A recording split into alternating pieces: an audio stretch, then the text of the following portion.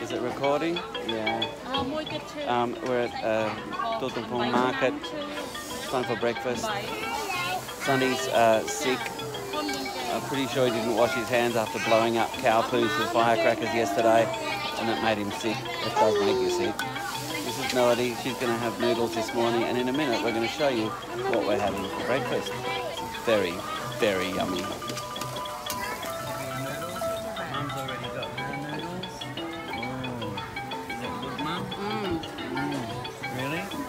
Super good? ណា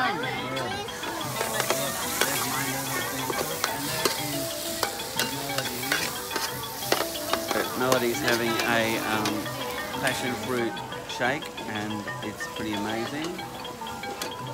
And we're all eating all this other super yummy stuff.